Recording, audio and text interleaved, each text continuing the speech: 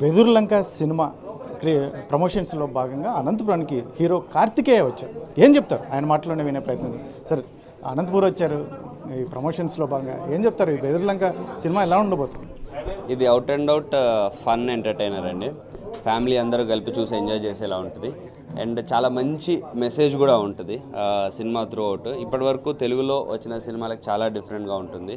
నాకు నా RX hundred అప్పటి నుంచి ఎప్పుడు అనంతపూర్ వచ్చినా చాలా మంచి రెస్పాన్స్ ఉండింది. సో అలాగే ఈరోజు మళ్ళీ ఇక్కడ రావడం చాలా హ్యాపీగా ఉంది. అండ్ బెదుర్లంక మూవీ ఖచ్చితంగా పెద్ద హిట్ అవుతుందని మేము అందరం నమ్ముతున్నాం. అందుకే నేను కూడా ఇంత ఎక్స్టెన్సివ్గా ప్రమోట్ చేస్తున్నాను. సార్ ఓకే మీ సినిమాలన్నీ టైటిల్స్ కూడా వెరైటీగా ఉంటాయి. ఆర్ఎక్స్ హండ్రెడ్ కావచ్చు ఇటువంటి అన్ని. ఇప్పుడు ఎందులో బెదుర్లంక టూ థౌజండ్ ట్వెల్వ్ అని పెట్టారు. ఏంటి స్పెషలైజేషన్ లేదండి అట్లా కుదిరింది అంతే. ఆ నెంబర్స్ ఉండడం అనేది నేను ప్లాన్ చేసి పెట్టుకుంది కాదు. రెండు వేల పన్నెండులో మనకి యుగాంతం జరుగుతుందన్న అపోహ ఒకటి క్రియేట్ అయింది రూమర్స్ క్రియేట్ అయినాయి. ఆ రూమర్స్ టైంలో ఆ బెదుర్లంక అనే గ్రామంలో ఆ పరిస్థితిలో ఏం జరిగింది అనేది నేపథ్యంలో తీసిన కథ. సో అది ఇమీడియట్గా అర్థం అవ్వాలి చూసిన ఎమ్మటే ఆ, అది రిజిస్టర్ అవ్వాలని పెట్టిన అదే కానీ నెంబర్ అలా మ్యాచ్ అయింది నా సెంటిమెంట్కి. అంటే ఇప్పుడు బెదుర్లంక అనేది ఒక మెసేజ్ ఓరియంటెడ్? ఏదైనా ఫన్నీ కామెడీగా ఉంటుంది. ఎలా అంటే మోస్ట్ ఆఫ్ ఫన్నే అండి. ఆ ఫన్ కూడా మనకి జనరల్లీ ఏదో పంచ్ టు పంచ్ డైలాగ్ లాగా కాకుండా సిచ్యువేషన్ నుంచి వచ్చే కామెడీ లాగా ఉంటుంది. సో ఇప్పటివరకు చేయని ఒక కొత్త అటెంప్ట్ చేసాం మోర్ కానీ చూసిన వాళ్ళందరూ హండ్రెడ్ పర్సెంట్ నవ్వుకుంటారు అండ్ ఒక చిన్న మెసేజ్ కూడా ఎంజాయ్ చేస్తారు.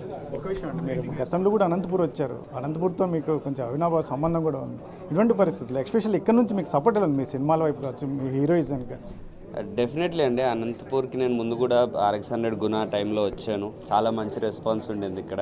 యూనో ఇక్కడ యూనో నేను జనరల్లీ యాక్షన్ మాస్ ఎక్కువ తీసున్నాను కాబట్టి కూడా ఇక్కడ నుంచి నాకు జనరలీ యూనో కల కల ఐ మీన్ కలిసిన వాళ్ళు కానీ అందరూ కూడా చాలా మంచిగా రెస్పాండ్ అవుతూ ఉంటారు అండ్ నన్ను సపోర్ట్ చేస్తూ ఉంటారు.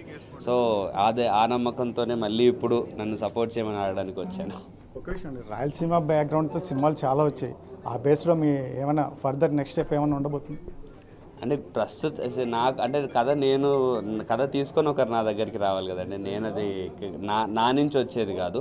బట్ డెఫినెట్లీ రాయలసీమ బేస్డ్లో ఒక కథ అనేది నాకు హండ్రెడ్ పర్సెంట్ ఎగ్జైటింగ్గా ఉంది. అలాంటిది ట్రై చేసినప్పుడు ఫెయిల్ అవ్వకూడదు.